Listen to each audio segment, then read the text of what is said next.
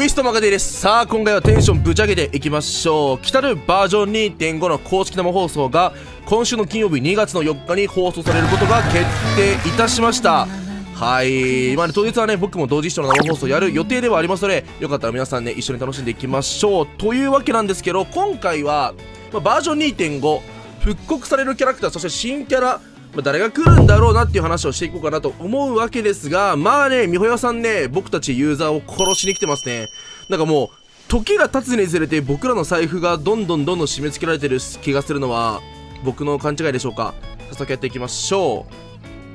今回発表されたバナーがこちらですね。はい、今回めちゃくちゃシンプルな画像となっております。バージョン2.5予告番組で画像がライデンション君とヤエミコだけなんですよね。これ実はめちゃくちゃ特例で前回のバージョン2.4や2.3の予告番組の画像を見てもらったらわかるんですけど基本的にはそのバージョンで実装される事柄の、まあ、キーポイントっていうかヒントのある情報をまあ画像としてね貼ってあったりもするんですよね、まあ、今回2.4だったら、まあ、回答差やりますよみたいな感じだったりとか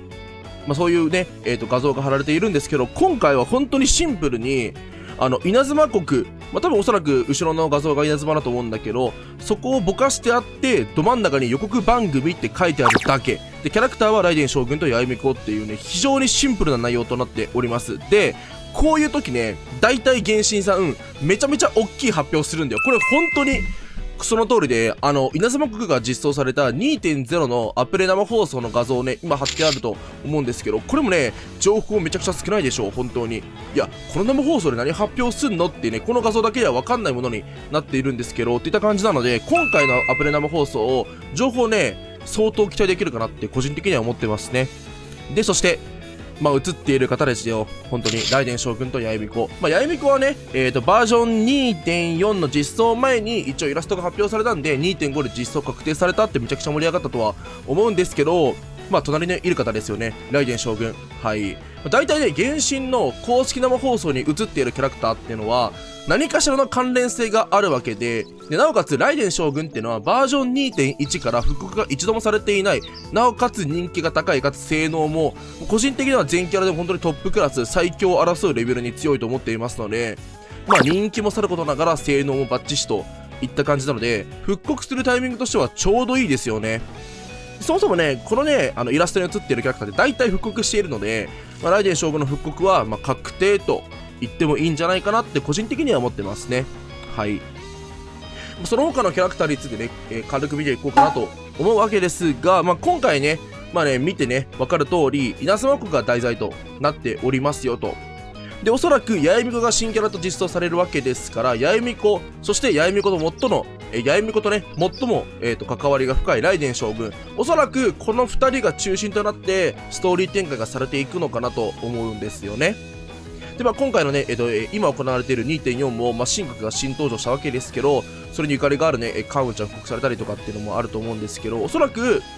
まあ、関わりが深い人、まあ、九条猿のピックアップ保証はやりますよね、多分ね。まあ、どっちのガチャでやるかわからないけど、おそらく、まあ、やいみこのガチャの方で、まあ、ピックアップポションとしてくるのかなといった感じ。まあ、運営さん的にもね、ヤイミコライデン将軍、九条サラっていうこの組み合わせのセットを使ってほしいと考えていると思いますので、まあ、九条サラの復刻はやるでしょうよと。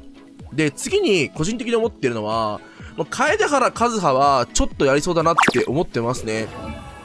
まあ、もちろんね、稲妻国のキャラクターなんですけど、そんな関わりあるかって思う人もね、いるかもしれませんが、多分ね、俺ね、楓原和葉の、まあ、親友を殺したのが、まあ、いわゆるライデン将軍の方で、まあ、エイちゃんの方は知らなかったわけだよね。なんでおそらく、この楓原和葉と、まあ、ライデン将軍の、まあ、本体、エイちゃんの方だよね。との、まあ、ちょっとなんだ、いざこざを解決するようなストーリー展開されていくのかなって個人的には思ったりもしますね。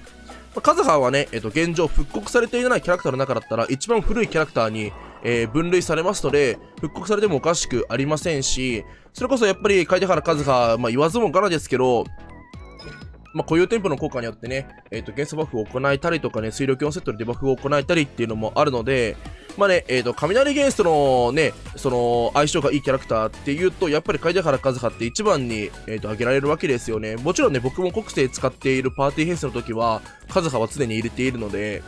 まあ、要するに、えっ、ー、と、八重美子、ライデン将軍、九条沙羅、楓原和葉、この4人で使ってください、みたいな気持ちは、運営さん的にはあると思うんだよね。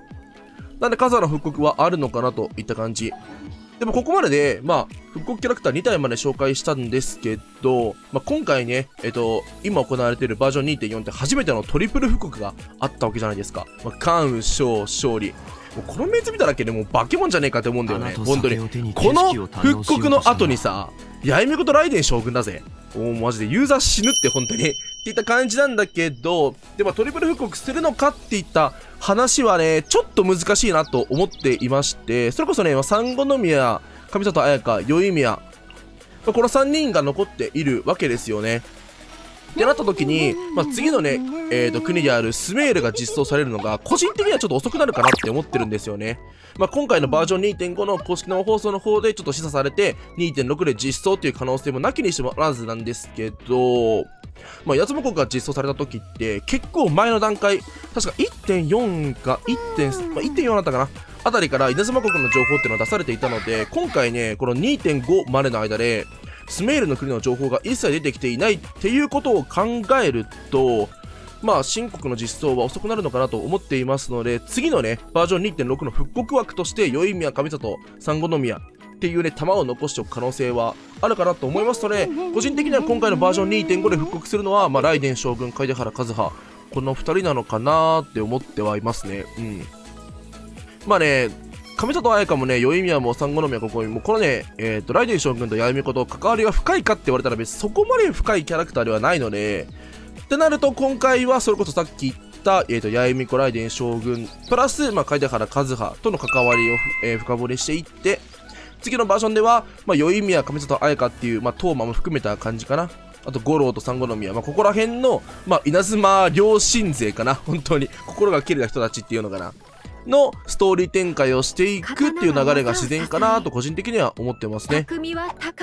いや、まあそうは言っても、ついに来ますよ。バージョン2.4、2.5。まあね、ヤイミコの性能もさることながら、まあ、ライデン将の、ライデン将軍のね、復刻もあるというわけで、めちゃくちゃ楽しみなので、まあよかったらね、みんなにコメント欄でね、まあ、復刻されたら誰引くとかね、まあ、やいみこね、まあ、もちろんね、みんな引くと思うんだけど、なんとつまり引くか、なんかもね、コメント欄で教えてくれたら嬉しいです。よろしくお願いします。いや、性能気になるね。個人的にはアタッカーで来てほしいな、ややみこはもう、突効果で、ゴリゴリに強くなるアタッカーで来てくれたら、個人的にはね、めちゃめちゃ使う機会が増えると思うので、まあね、何はともあれね、今週の金曜日のね、アプレナム放送を楽しみにしておきましょう。最後にね、高評価とチャンネル登録、この動画の感想、コメントもよろしくお願いします。それでは次の動画で会いましょう。じゃあね、みんな、おつりです。バイバイ。こ